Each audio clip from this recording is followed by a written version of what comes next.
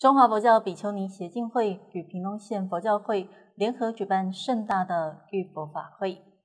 中华佛教比丘尼协进会与屏东县佛教会联合举办的浴佛大典圆游会暨万人路跑活动，场面热闹盛大。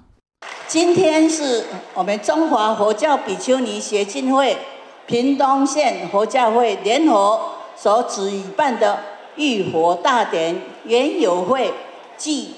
万人健康路跑。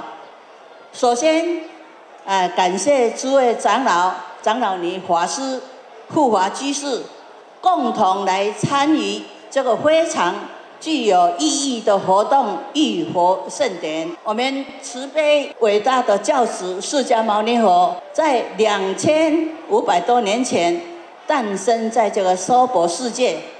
佛陀诞生的时候，诸天菩萨。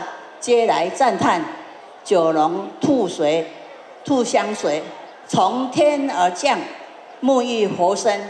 佛教徒为了纪念这个典故，就在佛陀出生的日子，也就是每年的四月八日，举行啊浴佛法会。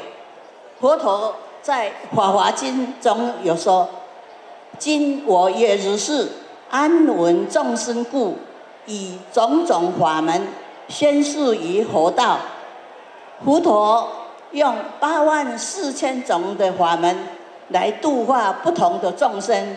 普辉长老尼开示，佛陀用八万四千种法门度化众生。